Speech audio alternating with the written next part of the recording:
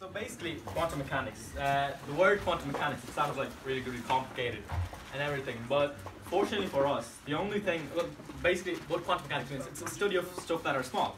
Stuff that are small, as in we're talking really small, like atoms, and then we're going beyond atoms, like we're going to protons, neutrons, electrons, positrons, anti-electrons, gluons, tau particles, Mao particles, and all those fancy particles and uh, energies and all that. 100 years, uh, years ago, we all knew light. Light, as we know it, light is there. You have light there, but we didn't actually know what light was. The two, uh, the main question about light was whether it was a particle or a wave. Now, what do I mean by a particle? A particle is like some like rocks or pebbles on the seashore, right? And a wave is like a sea wave. It's a movement, like a sound wave among different particles. And a particle, as in, you know, it's just a physical, tangible thing. And a wave is completely different. And the main question was whether light is, is, it a particle or is it a wave? Is it particles of photons, as, as we now call, come to call them, or is it a, a wave of a movement of energy through space? And um, up until about up until 1905, uh, we, we learned from experiments that uh, light is actually a particle. It's made of these tiny things called photons. And um, for, uh, yeah, for photons, because um, for example, when you have a very large telescope and uh, or, or a large mirror, and you tune in uh, and you convert the uh, amount of light uh, it falls on the telescope into audio signals, you, you hear these little pattering noises, and those little pattering noises are tiny little particles hitting the mirror.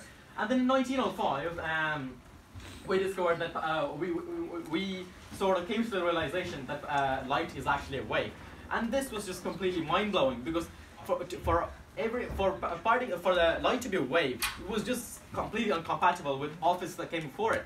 According to our best knowledge and according to our first inter interactions, and every single experiment that was ever done, light is a particle. But then we did this experiment and we are like, oh wow, wait, light is a wave now?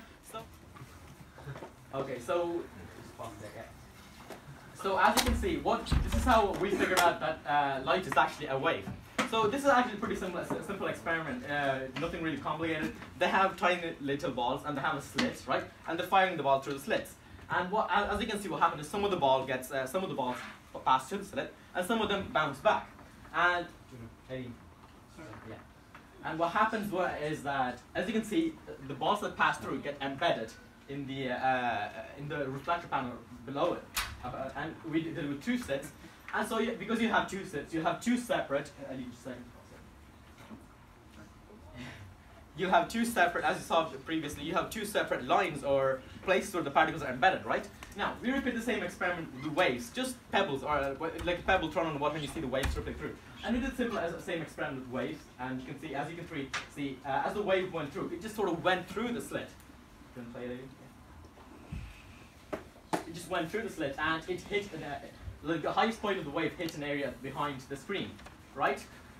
And then we did the experiment again with two uh, two slits, and this time it was a bit it was a bit different. What happened to what we were expecting to happen with uh, with particles?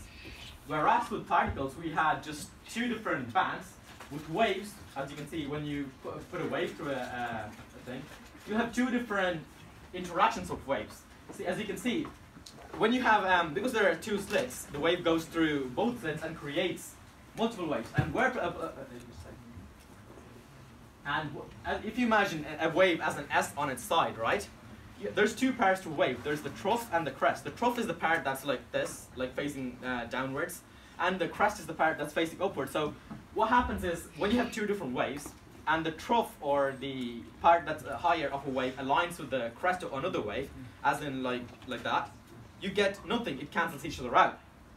But if the trough or the higher part of a wave uh, uh, like merges with the higher part of another wave, you get an even bigger wave. And that even bigger wave creates um, uh, creates the background. You can see, you can see here creates uh, interference.